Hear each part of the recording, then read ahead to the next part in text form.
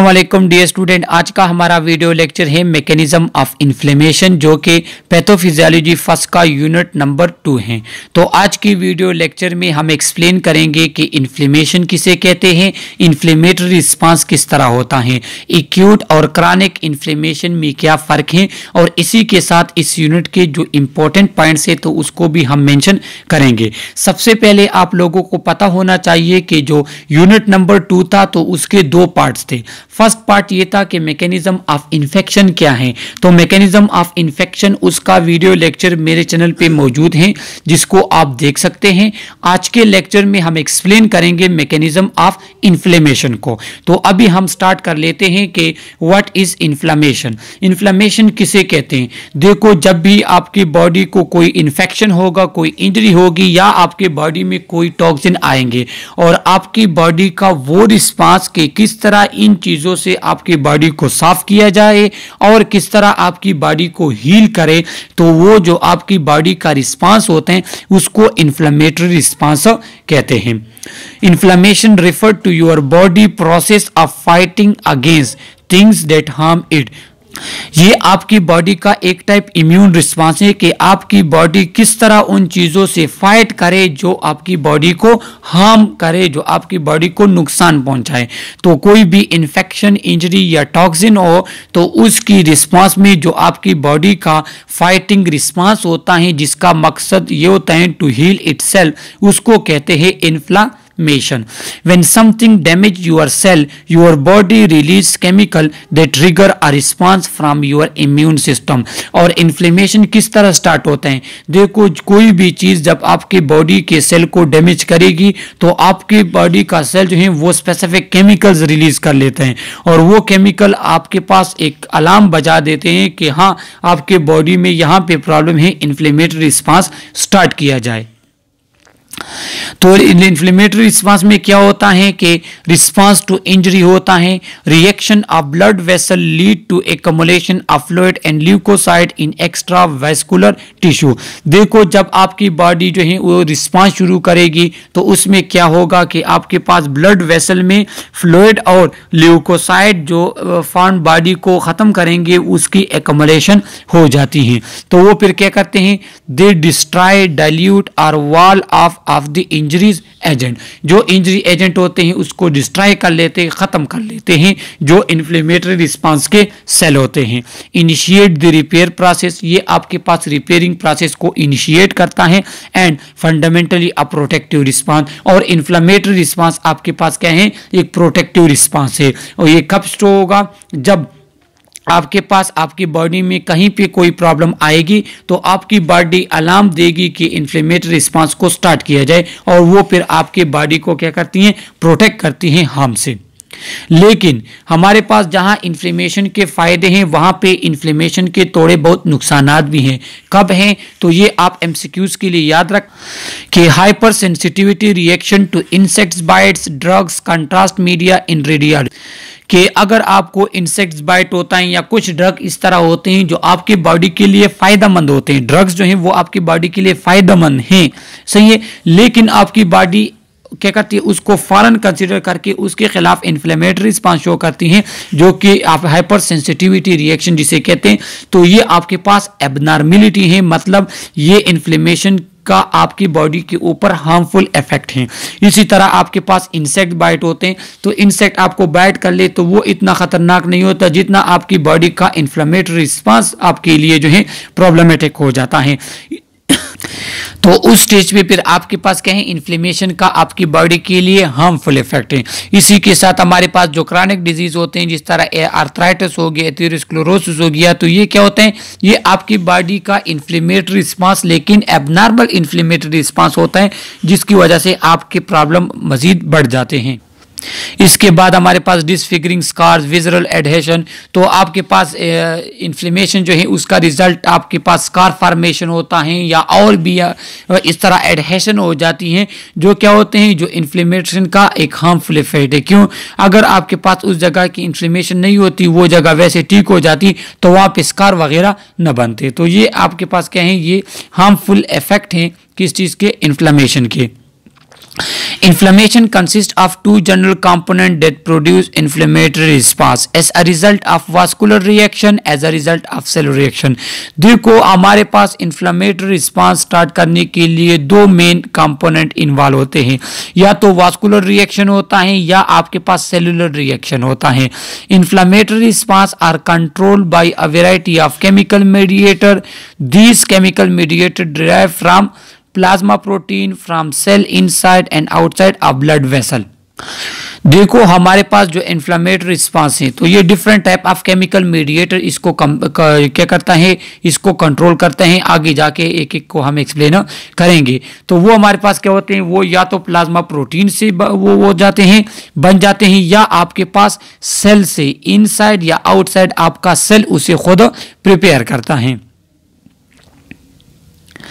अब हमारे पास इन्फ्लामेशन के मेन साइन इंतहाई इंपॉर्टेंट है। आप एमसीक्यूज के हवाले से इससे एक या दो आपके जो है एग्ज़ाम में अक्सर आते हैं और ये चीज़ें आप लोगों ने फंडामेंटल ऑफ़ नर्सिंग में पढ़ी भी होगी कि इन्फ्लेमेशन के four cardinal sign acute inflammation के हमारे पास रोमन मेडिकल राइटर जिसका नेम था आलस कॉर्नलस सेल्कस सेल्सस उन्होंने क्या किया था? उन्होंने फोर कार्डिनल साइन के एक्सप्लेन किए थे इन्फ्लेमेशन के। लेकिन अब जो है, उसमें फिफ्थ साइन भी ऐड हो गया है। जो हमारे पास फ़र्स्ट है र्यूबर रबर भी इसे कहते हैं। तो ये कहें, ये रेडनेस हैं। तो रेडनेस क्यों होती है? Because of vasodilation that increase blood flow जिस जगह पे आपको इन्फ्लेमेशन होगी, वो जगह आपके पास रेड होगी। क्यों? क्योंकि वहाँ पे वेजो डायलेशन होती है, जिसकी वजह से ब्लड फ्लो उस की तरफ़ इंक्रीज हो जाता है और आपके पास इन्फ्लेम रीजन जो है, वो क्या होता है, वो आपके पास रेड दिखाई देता है। इसके बाद सेकेंड हमारे पास है ट्यूमर उस जगह पे आपके पास स्वेलिंग भी होगी। क्यों? क्योंकि वहाँ पे वास्कुलर एकमोलेशन ऑफ़ फ्लूड होती है तो इस वजह से वहाँ पे आपके पास एकमोले स्वेलिंग हो। और उस स्वेलिंग को कहते हैं ट्यूमर इसी के बाद हमारे पास कॉलर। कॉलर किसे कहते हैं? हीट। वो जगह आपके पास क्या होती है? गर्म होती है, वार्म होती है। क्यों?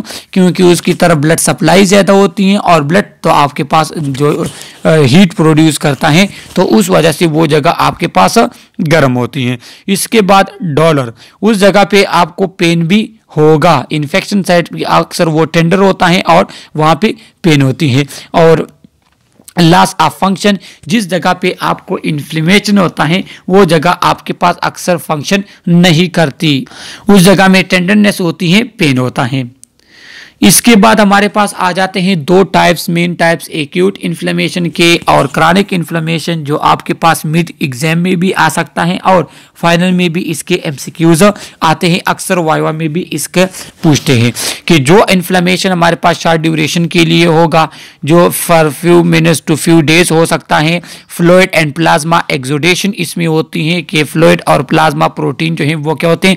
वो वास्कुलर सिस्टम से इंटरस्टिशियल स्पेस में आ जाते हैं और न्यूट्रोपिल ल्यूकोसाइट इन्फिल्ट्रेशन भी आपके पास इसमें होती है। तो ये एक्यूट इन्फ्लेमेशन है, जो क्रॉनिक इन्फ्लामेशन होती है, उसमें क्या होते हैं कि उसका तो ड्यूरेशन लॉन्ग होगा। इसी वजह से तो इसे क्रॉनिक भी कहते हैं, क्योंकि जो क्रॉनिक डिज़ीज़ हमारे पास होती है, उनका ड्यूरेशन सिक्स मंथ से ज़्यादा होता है। इसके बाद last for days to years vascular proliferation and scarring इसमें आपके पास क्या हो जाते हैं? इसमें वास्कुलर सिस्टम डैमेज होता है और आपके पास जो है, उस जगह पे स्कार्स वगैरह प्रोड्यूस होना स्टार्ट हो जाते हैं। Influx of lymphocytes and macrophages और इसमें क्या होते हैं? लिम्फोसाइट और मैक्रोफेजिस की इन्फ्लक्स होती है।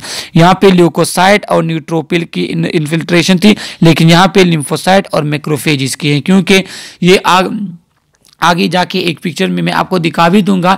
लेकिन चूँकि इन्होंने क्या होते हैं, इसने एक लॉन्ग ड्यूरेशन के लिए इन्फ्लेमेटरी रिस्पांस शो करना होता है, इसलिए इसमें हमारे पास लेम्फोसाइड और मैक्रोफेजेस होते हैं। तो ये हमारे पास डिफरेंट है एक्यूट और क्रॉनिक इन्फ्लामेशन में। यहाँ पे आप देख लें कि ये हमारे पास एक्यूट इन्फ्लामेशन है और ये हमारे पास क्रॉनिक इन्फ्लामेशन है। तो एक्यूट इन्फ्लामेशन में क्या है कि यहाँ पे हमारे पास आर है। यहाँ पे ये जो सेल है, इसे क्या कहते हैं, ये कोलिजन फाइबर सेल हमारे पास है। हैं और ये जो सेल हमारे पास हैं तो ये क्या है? ये मैक्रोफेजेस हैं। तो ये थ्री टाइप ऑफ़ सेल जो हैं, ये क्या होते हैं? ये एक्यूट इन्फ्लेमेशन में होते हैं। लेकिन जो क्रॉनिक इन्फ्लेमेशन है तो इसमें हमारे पास डिफरेंट टाइप ऑफ़ सेल हैं। क्यों? क्योंकि इसमें हमारे पास स्कार्स भी बनता है और एक लॉन्ग ड्यूरेशन के लिए इसने अपना इन्फ्लामेटरी रिस्पांस शो करना होता है।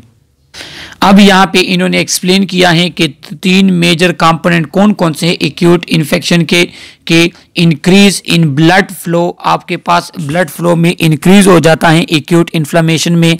Oedema result from increase hydrostatic pressure and lowered intravascular osmotic pressure कि जो आपके पास वेजोडाइलेशन होती है, उसकी वजह से आपके पास हाइड्रोस्टेटिक प्रेशर इंक्रीज हो जाता है, जिसकी वजह से वेसल से फ्लूड आपके पास जाता है इंटस्टिशियस में और उस वजह से उस जगह पे आपके पास एडेमा सा बन जाता है। Leukocytes leukocytes immigrate from microcirculation and accumulate in focus of injury जिस जगह पे इंजरी होती है तो ल्यूकोसाइड उस जगह पे आ जाते हैं, वहाँ पे एकोमोलेशन बन जाती है। सही है? तो आपके पास क्या होगा? तो आपके पास ये एक्यूट इन्फ्लेमेशन में ये तीन चीज़ें आपके पास होंगी। अब एक्यूट इन्फ्लेमेशन के रीज़न कौन कौन से हैं? तो इसके डिफरेंट रीज़न हो सकते हैं। एमसीक्यूज़ के लिए आप याद रख ले। इन्फेक्शन में ये हो सकता है। ट्रामा अगर किसी का एक्सीडेंट वगैरह हो गया, उसमें फ़िज़िकल एंड केमिकल एजेंट की वजह से भी होते हैं। कोई फॉरन पैथोजन वगैरह बॉडी आपके बॉडी में इंटर होती हैं, उसकी वजह से भी होता है। एंड आपकी बॉडी का अपना इम्यून रिएक्शन भी होता है, जिसे हम हाइपर सेंसिटिविटी कहते हैं। तो इन तमाम चीज़ों की वजह से आपके पास एक्यूट इन्फ्लामेशन होती है। यहाँ पे इन्होंने एक चीज़ एक्सप्लेन की है कि हमारे पास जो केमिकल मीडिएटर हैं, जो इन्फ्लामेशन के दौरान रिलीज़ होते हैं तो वो ये तमाम हैं। और इनको सेक्रेट कौन करता है? इनको सेक्रेट करता है ये इसका सोर्स हैं। तो ये आप एम के लिए इन दोनों को याद रख लें, क्योंकि जब भी एग्जामिनर ने कोई मुश्किल एम बनाना होता है तो वो इस तरह के फिगर वगैरह से एम जो है वो लेता है, क्योंकि ये आपकी कोर्स में है, लिहाजा आप इसको जो है याद रख लें। इसके हमारे पास जो एक्यूट इन्फ्लामेशन होती है तो उसमें या नॉर्मल इन्फ्लामेशन होती है, उसमें एडमा किस तरह होता है? देखो, ये हमारे स्किन का लेयर है। ये नॉर्मल है, सही है? लेकिन क्या होता है कि इसमें जब आपके पास एकोमोडेशन ऑफ़ फ्लड वगैरह होती है तो यहाँ पे ओपनिंग जो है वो स्टार्ट होना शुरू हो जाते हैं और फिर क्या होते हैं, यहाँ पे एक्जोडेशन होती है। एक्जोडेशन किसे कहते हैं? कि यहाँ पे जो आपके पास फ्लोइड वगैरह होगा, वो बाहर निकल आता है और यहाँ पे आप देख सकते हैं कि ये देखो, ये जो चीज़ें बाहर निकल आई हुई है, ये फिर आपके पास एडेमा काज करती हैं। तो एडेमा जो है वो इस टाइप का होता है, इस तरीके से होते हैं कि सबसे पहले तो आपके पास सेल ये वेसल्स में है। सही है? इसके बाद क्या होता है? इसके बाद आपके पास इंटरनल प्रेशर इंक्रीज होना शुरू हो जाता है और इंटरनल कंटेंट बाहर की तरफ़ आते हैं। यहाँ पे देखो, बाहर निकल आए हैं।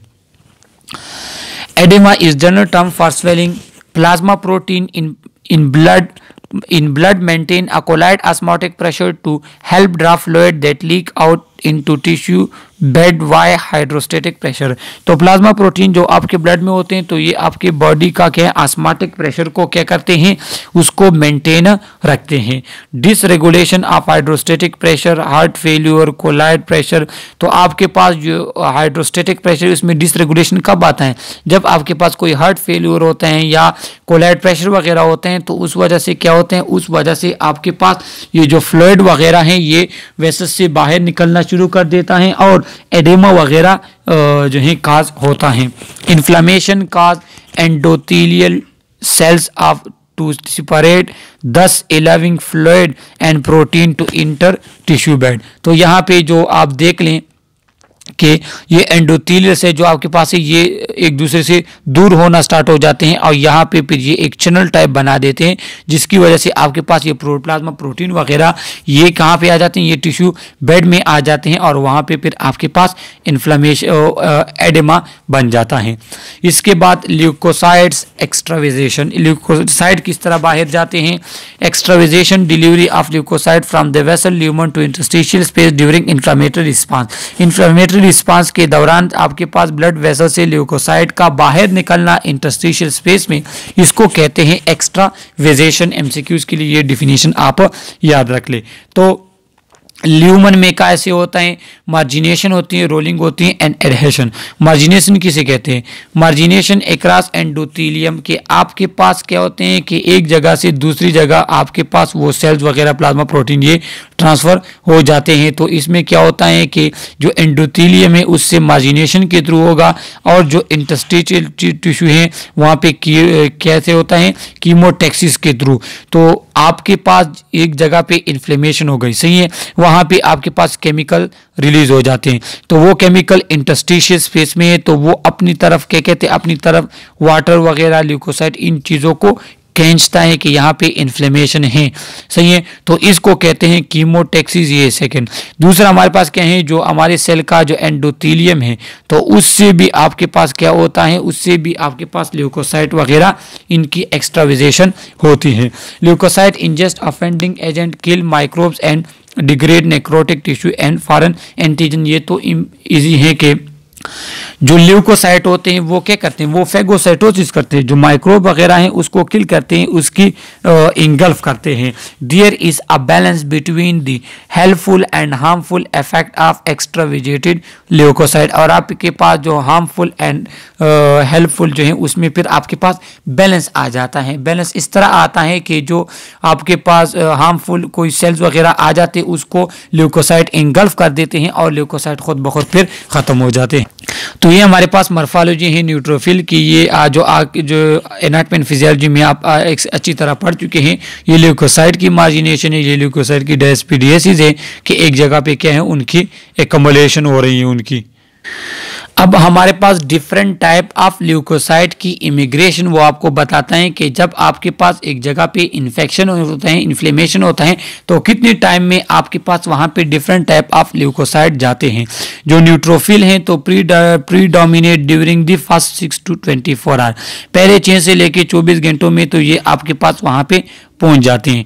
जो सेकंड हमारे पास मोनोसाइट हैं, वो क्या होते हैं, वो 24 टू 48 हार लेते हैं कि वो इन्फ्लेमेटरी जगह तक पहुँच जाए तो ये आप एमसीक्यूज के लिए याद रख लें।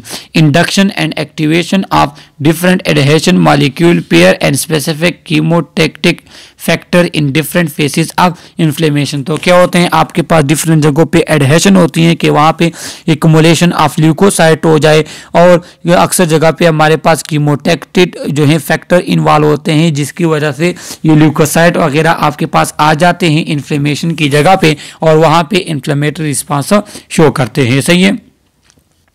यहाँ पे एक ग्राफ उन्होंने आपको दिए, इंतहाई इंपॉर्टेंट है कि जब भी आपके पास इन्फ्लेमेशन होगी तो फ़र्स्ट डे में आपके पास फिर क्या हो जाते हैं? वहाँ पे एडेमा आपके पास हो जाता है। इसके बाद न्यूट्रोफिल जो है, उनका पीक वो तकरीबन एक एक दिन से लेके दो दिन तक उन, वो क्या होते हैं? वो अपने पीक तक पहुँचते हैं। मर के मतलब कि 24 से लेके 48 घंटे इस पे लगेंगे कि वो आपके पास उस इन्फ्लेमेशन वाली जगह पे आएँगे। इसके बाद फिर मानोसाइट एंड मैक्रोफेजिस उनका पीक जो है, वो ढाई दिन के बाद होता है। मतलब जो twenty four forty eight hours के बाद जो है, वो उनका तादाद इंक्रीज होना शुरू हो जाती है। इसके बाद जो लास्ट में जो आपके पास सेल आते हैं, वो प्लाज्मा या लिम्फोसाइड सेल होते हैं, जो पाँच पाँच छः दिन तक आपके पास लेते हैं। तो ये डिफरेंट टाइम में आपके पास इन्फ्लेमेशन में कौन से सेल्स आपके पास आएँगे तो इनका उन्होंने ग्राफ दिया हुआ है। अब हमारे पास एक्यूट इन्फ्लेमेशन के आउटकम कौन कौन से हो सकते हैं? There are many outcome of acute inflammation complete resolution of infection and inflammation एक तो ये है कि आपके पास इन्फेक्शन कंप्लीट ख़त्म हो जाए इन्फ्लेमेशन कंप्लीट ख़त्म हो जाता है क्योंकि जो फॉरन बॉडीज आए हैं आ, आपकी बॉडी सेल उनको किल कर लेते हैं और इन्फेक्शन ख़त्म हो जाता है। सेकेंड आउटकम क्या है एप्सिस फार्मेशन भी है कि वहाँ पर एप्सिस बन जाती हैं वहाँ पे एकोमोलेशन सी बन जाती हैं। सही है इसके बाद फाइब्रोसिस भी वहाँ पे हो सकते हैं। फाइब्रोसिस किसे कहते हैं कि जब आपके पास फंक्शनल सेल की जगह नॉन फंक्शनल सेल प्रोड्यूस हो जाए तो उसको कहते हैं फाइब्रोसिस और वहाँ पे फिर आपके पास स्कारसा भी रह जाता है। As a result of substantial tissue destruction भी फाइब्रोसिस होती हैं। In those type of tissue there do not ability to regenerate वो सेल जिनमें रिजनरेशन की एबिलिटी नहीं है, वहाँ पे भी आपके पास फाइब्रोसिस हो सकती हैं। After abundant fibrin exudation specially in serious activities या आपके पास कहीं कहीं पे सिरस फ्लोइड वगैरह होता है, कहीं पे पेराटोनियम प्लूरा वगैरह होते हैं तो वहाँ पे क्या होती हैं? वहाँ पे फाइब्रिन एक्सोडेशन इंतहाई अबेंडेंट उनकी हो जाती हैं, जो कि प्रोटीन है, और उस वजह से भी फाइब्रोसिस होती हैं। कि वहाँ पे आपके पास जो फंक्शनल सेल है, वो फाइबर सेल में कन्वर्ट हो जाते हैं। Acute inflammation some time progress to chronic inflammation और आपके पास एक्यूट इन्फ्लामेशन कभी कभार क्रॉनिक इन्फ्लामेशन में भी कन्वर्ट हो जाता है कि अगर उसका आपके पास क्या है कि इन्फ्लेमेशन रिस्पांस आपके पास उस इन्फेक्शन को ख़त्म न कर ले। तो ये हमारे पास जो है टाइप्स ऑफ़ इन्फ्लामेशन है, जिसको आप देख सकते हैं कि जो इंजरी होगी, इसके बाद ये इन्फ्लामेटरी रिस्पांस और ये टिश्यू आपके पास नॉर्मल हो गया। लेकिन आपके पास क्या है कि इंजरी आपके पास हो गई, ये इन्फ्लेमेशन और ये फिर कभी कभार इस तरह ये और ये फिर क्रॉनिक इन्फ्लेमेशन में कन्वर्ट हो सकते हैं। तो ये एक्यूट इन्फ्लामेशन है और ये क्रॉनिक इन्फ्लामेशन है हमारे पास। अब इनके एक्यूट इन्फ्लामेशन में मार्फोलॉजिकल पैटर्न चेंजेस के आएँगे। सिरस इन्फ्लामेशन आपके पास आएगी कि जो सिरस इफ्यूजन होगी। सिरस हमारे पास एक फ्लूड होता है जो हमारे बॉडी में होता है तो इसकी एकोमोडेशन आपके पास हो सकती है।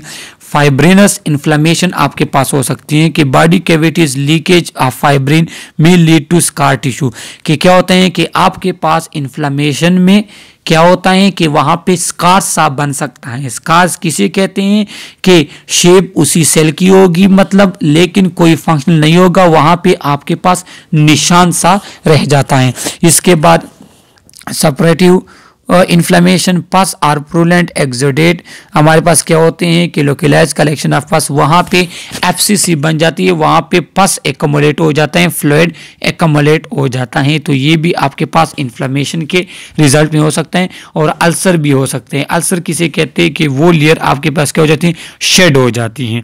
वो लेयर ख़त्म हो जाती है। मतलब कि अगर आपके पास जो है ना, ये हमारे पास एक आर्गन अगर मैं यहाँ पे आप लोगों को बना के दे दूँ, ये हमारे पास पास एक ही है। तो इसको अगर हम वो कर लें, ताकि आप लोगों के लिए आसानी हो। अब इसके ऊपर यहाँ पे कही इसके ऊपर यहाँ पे एक लेयर थी। तो क्या होती है कि आपके पास इन्फ्लेमेशन के थ्रू वो लेयर क्या हो जाती है, वो लेयर आपके पास ख़त्म हो जाती है। सही है तो एक इन्फ्लेमेशन का आपके पास ये रिज़ल्ट भी होता है कि उस जगह पे आपके पास अल्सर सा बन जाते हैं, वो लेयर जो होती हैं, वो शेड हो जाती हैं। अब सिस्टमेटिक मैनिफेस्टेशन क्या होंगी इन्फ्लामेशन के, जो आपके पास एंडोक्राइन एंड मेटाबॉलिक मैनिफेस्टेशन है एंडोक्राइन और मेटाबॉलिक चेंजेस जो आपके बॉडी में आ जाती हैं इन्फ्लामेशन के साथ, वो क्या होते हैं secretion of acute phase of protein by liver in inflammation आपकी बॉडी में आपका लीवर जो है, वो एक्यूट फेस प्रोटीन जो है, उसकी सेक्रीशन कास कर लेता है। अब एक्यूट फेस प्रोटीन कौन से हैं? एक्यूट फेस प्रोटीन हमारे पास, हमारे बॉडी ब्लड वेसल्स में प्रोटीन होते हैं, जिनकी तादाद बढ़ती है कब? जब आपकी बॉडी में इन्फ्लेमेशन हो। जब इन्फ्लेमेशन नहीं हो तो इनकी तादाद नॉर्मल या कम रहती है और ये रिलीज़ हमारे पास होते हैं कहाँ से? सेक्रीट होते हैं लिवर से। इसके बाद इंक्रीज प्रोडक्शन ऑफ़ ग्लूकोकार्टिकाइड जो कि हार्मोन है, जो कि स्ट्रेस हार्मोन भी जिसे हम कहते हैं तो इन्फ्लेमेशन में उनकी प्रोडक्शन भी क्या हो जाती है? इंक्रीज हो जाती हैं।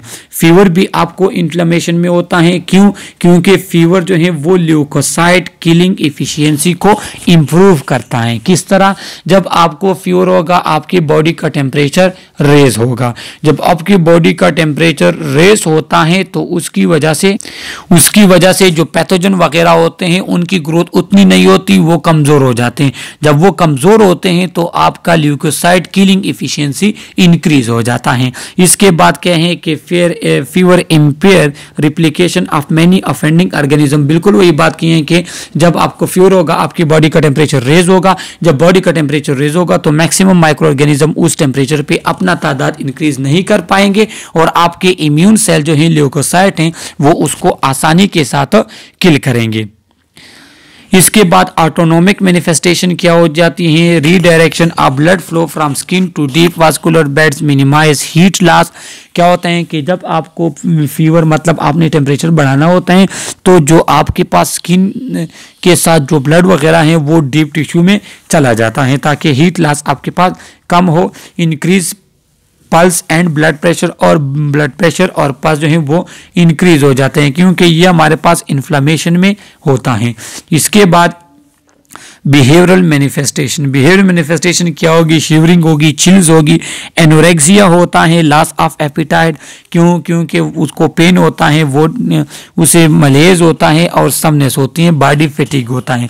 शिवरिंग और चिल्स क्यों आएँगे? ताकि आपकी बॉडी का टेम्परेचर इंक्रीज किया जा सके। तो ये बिहेवियरल मैनिफेस्टेशन है। लिहाजा ये आप एम के लिए याद रख लें। सिस्टमेटिक मैनिफेस्टेशन क्या होगी कि ल्यूकोसाइटोसिस होगी increase leukocytes count in blood neutrophilia होगा बैक्टीरियल इन्फेक्शन के दौरान आपके पास न्यूट्रोफीलिया होता है न्यूट्रोफिल जो है उसकी तादाद इंक्रीज हो जाती है। लेम्फोसाइटोसिस आपके पास होती है। लेम्फोसाइट की तादाद डिक्रीज होगी। जब आपके पास इन्फेक्शन माइनोन्यूक्लियोसिस होगा या मम्स या मीजल आपके पास होंगे तो उस इन्फेक्शन में लिम्फोसाइट्स की तादाद क्या होगी? कम होगी। इजिनोफीलिया आपके पास हो सकता है। न्यूट्रोफीलिया मतलब न्यूट्रोफिल की जो है तादाद डिक्रीज होना। इजोनोफीलिया आपके पास होता है कब? जब आपके पास पैरासाइट एस्थमा या हे फीवर है तो उस कंडीशन में आपके पास इजोनोफीलिया होता है। ल्यूकोपीनिया क्या होता है? रिड्यूस ल्यूकोसाइट काउंट जिसमें क्या है? टाइफाइड फीवर अगर आपको है या कुछ वायरस रिकेटेसी या प्रोटोजोवल आपके पास डिज़ीज़ है तो उसमें ल्यूकोपीनिया होते हैं।